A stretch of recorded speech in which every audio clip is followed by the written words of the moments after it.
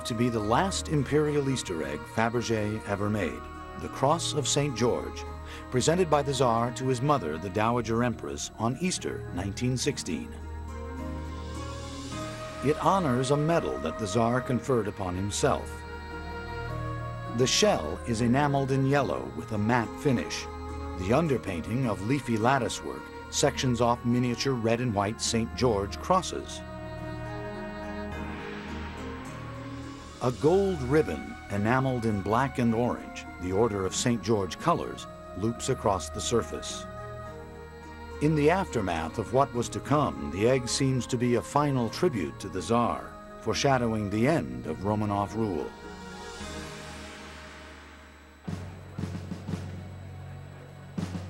In 1916, conditions in Russia worsened. To save the country, members of the Imperial Circle carried out a plot to murder Rasputin. The holy man was poisoned, shot several times, and dumped in a freezing river. The act spared the country one of its most controversial figures, but failed to save it from revolution in 1917. As food and fuel supplies declined, civil unrest mounted. Strikes and street fighting broke out in the shadow of the Winter Palace. When soldiers joined the revolutionary movement, the government collapsed. Aboard the imperial train at Pskov, Nicholas yielded to demands that he abdicate. He hoped that he and his family would be sent to England, where his cousin King George V ruled. But there would be no exile to a foreign country.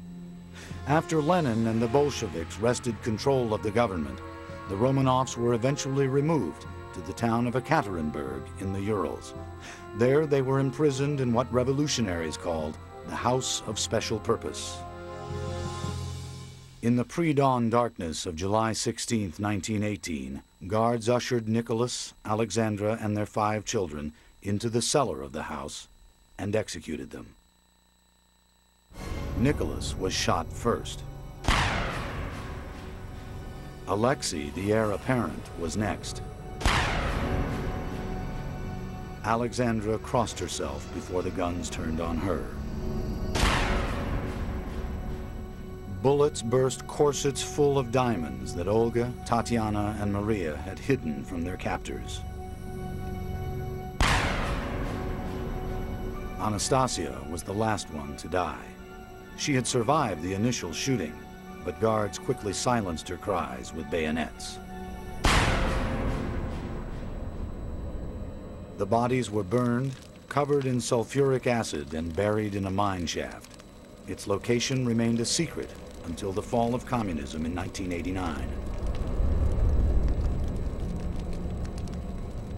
In a blaze of violence, the reign of Nicholas and Alexandra as well as 300 years of Romanov rule, had come to a sudden end. In the new order, all those associated with the imperial family were forced to flee the country, among them Peter Carl Fabergé.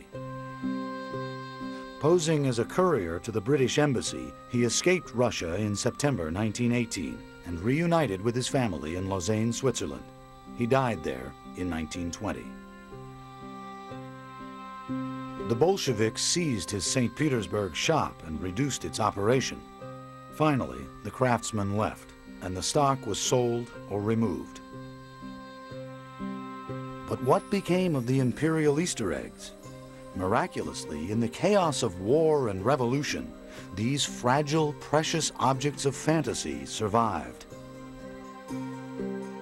Lenin, surprisingly enough, was very conservative. He ordered that the palaces should be sealed and that their contents should be put under lock and key, and everything that was valuable, such as crown jewels and uh, imperial eggs, Fabergé pieces were listed very carefully. All these objects were transferred to the Kremlin, where they were kept virtually unknown till they were rediscovered somewhere around 1921.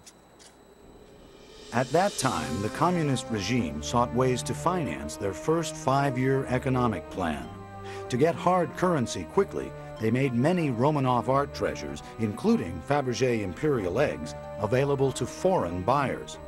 One was an American entrepreneur, Dr. Armand Hammer. He acquired a number of Fabergés, intending to resell them in the United States. His timing could not have been worse. The Depression made any sales difficult.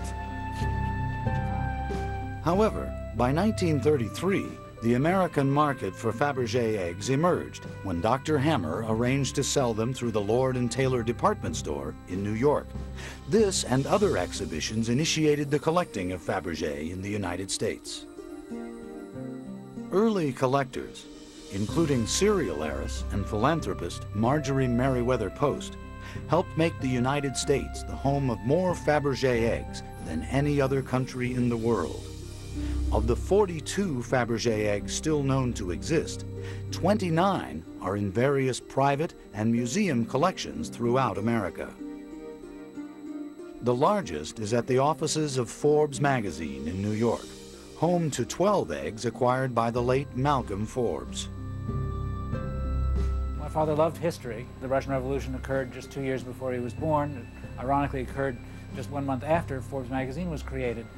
And that was his excuse ultimately for creating the Forbes magazine collection, that the uh, capitalist tool should be uh, competing with the Soviets. And uh, he liked to refer to the eggs race. And in fact, he loved assuring Caspar Weinberger when he came to Forbes that while Cap was in the Pentagon, he didn't know for sure who had more missiles. When he came to Forbes, he knew he had more eggs. Collectors are not the only ones who covet the imperial Easter eggs. The general public is fascinated by them too. In 1996, record-setting crowds attended Fabergé in America, an exhibit that traveled to museums from New York to San Francisco. Why such enthusiastic interest? The answer is in the eyes of the beholder.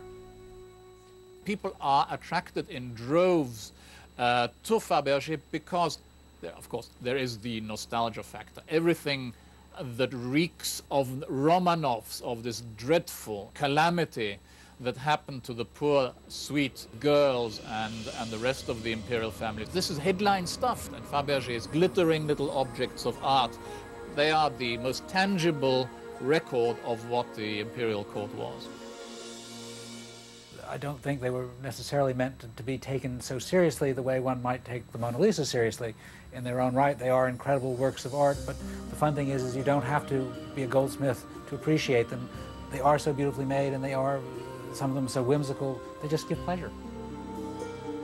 When you look at Fabergé, it's a reminder of, of both the uh, times out of which they came and of the uh, taste of the people who ordered these things and, and also the jewelers who made them. If we look around now, in our society, we're not producing anything of the quality of these eggs. Why not? We have as much money. Where is the Fabergé of today? He does not exist. No artist can boast the unique combination of talent and patronage that made the imperial Easter eggs possible. They're of a time and place that is no more and will never come again. Yet their enduring value is that they can be treasured forever.